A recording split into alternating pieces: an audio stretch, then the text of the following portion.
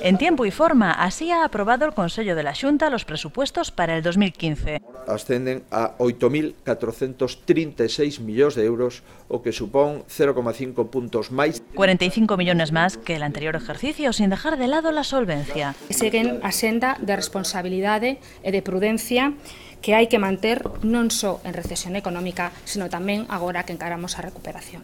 La Xunta contempla un escenario positivo en el que se barajan previsiones como el descenso de la tasa de paro que se situará en el 20,1% o el crecimiento económico que superará el del 0,9% de este año. Prevemos un crecemento económico do 2% para o ano 2015 o maior crecemento económico dende o ano 2007. Entre las medidas que contemplan las cuentas autonómicas está la exención del céntimo sanitario para los transportistas o la implantación de un canon para las explotaciones mineras de entre un 1 y un 1,5%.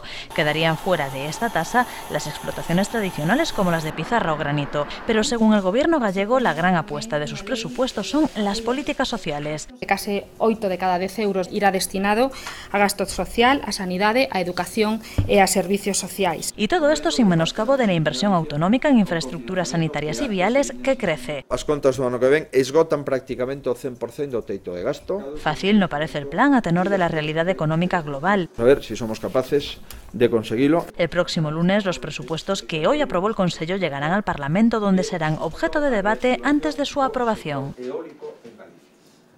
Novo parque